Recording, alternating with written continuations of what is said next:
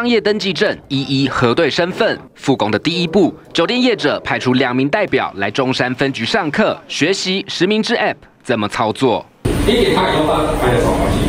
那你就去扫，到时候发给你公司的内账。一个个做好好，听着师傅操作。将近五十三名业者，八十五人参加上课，现场出现了不少黑衣人，像是酒店基层员工来学习。这 App 系统由台北市政府资讯室管理，各自放在云端。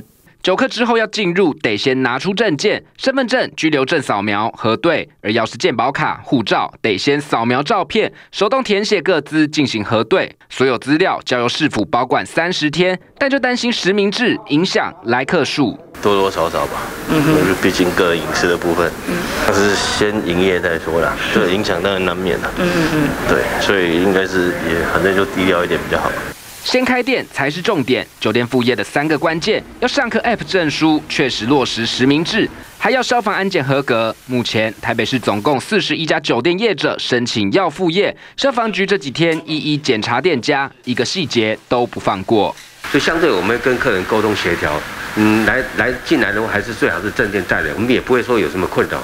那如果说真的是客人不愿意这样，我们也不愿意去收这个客人的，我们也是拒绝让客人进来。那超过三次的话，被抓到三次有这种缺失，那又被勒令，我们当业者也不需要有这种情形发生了。只要业者被抓包三次没落实，通通放人，就得勒令停业一个月。为了复工又防疫，业者乖乖配合政府上课，等待开业的那一天。记者黄家伟、李香怡台北报道。